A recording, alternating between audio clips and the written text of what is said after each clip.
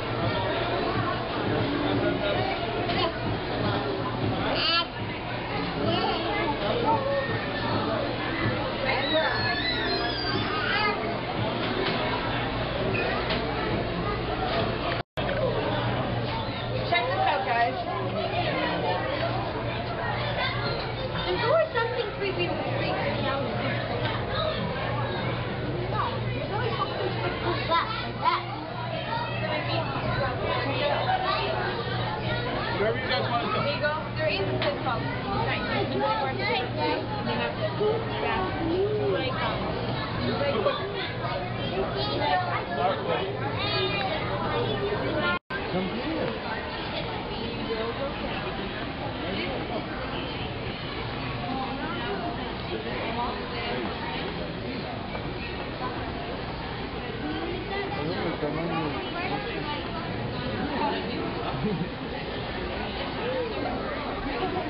It says sea turtles live in the ocean and feed or eat subtropical and subtropical species.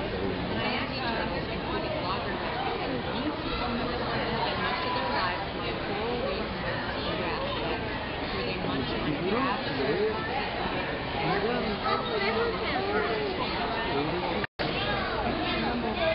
No mammals in here right now. The only time we ever have mammals going in here are when the divers go in. Uh, and they don't live here, so they don't count. The turtles, yeah, does anyone know what they are?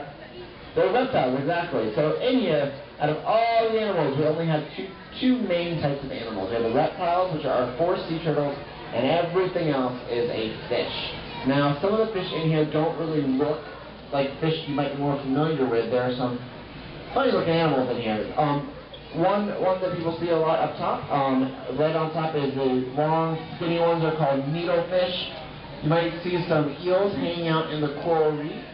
Uh, also, stingrays were mentioned. Stingrays and sharks are fish. There's a very special kind of fish. They're different than everything else in here. When you look at most of the fish, again, like those needlefish, are this right here is our barracuda with the two shiny stripes on top. Um, permits are the big silver round ones you see swimming around in schools. All of those